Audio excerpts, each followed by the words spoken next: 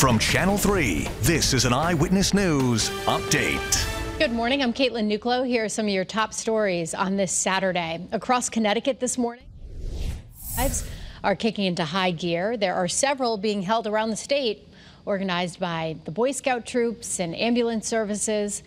Because of rising food costs and the end of pandemic safety nets, experts say getting meals to those who are hungry is critical this year. The Labor Department says consumer prices jumped 6.2% in the past year, the highest inflation rate since 1990. And if you're running to the grocery store this morning and you want to pick up a few items, here's a list of the places where you can drop off your donation. In Danielson, the Elks Lodge will collect food from 10 to 4. Milford's Drive is at Wasson Field from 7 this morning to 8 tonight. And in Westport, the Post Road East will at the Stop and Shop, they will be collecting items from 10 to 3.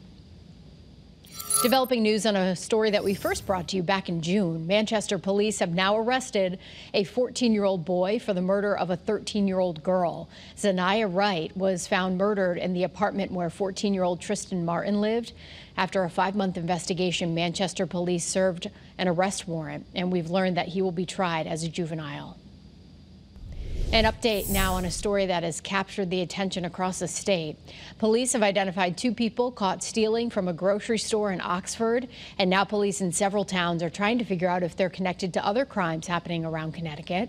One of those was in Wallingford, where a suspect was caught on camera putting TVs into a tan minivan. Police are not releasing the suspect's names. They say this is still an open and active case. Hi, everyone. Happy Saturday. Lauren Richardson here in the Early Warning Forecast Center. And yes, we are looking at, once again, above average mild temperatures for this time of the year. So we're talking about highs in the upper 50s. We're going to be seeing a mix of sun and clouds this morning, followed by some showers and the potential for some isolated storms this afternoon. Here's a look at our severe threat. So we are in the marginal risk category for our entire state. We could be seeing some very gusty winds as well as the potential for an isolated storm. Tonight, though, this should clear out. Those forecasts forecast lows are very chilly, actually. Breezy conditions continue. And then for tomorrow, only a high of 49 degrees. Sunday into Monday, we've got the potential for some rain and even some snow in the northwest hills, but that clears out pretty quickly. Have a great day, everyone.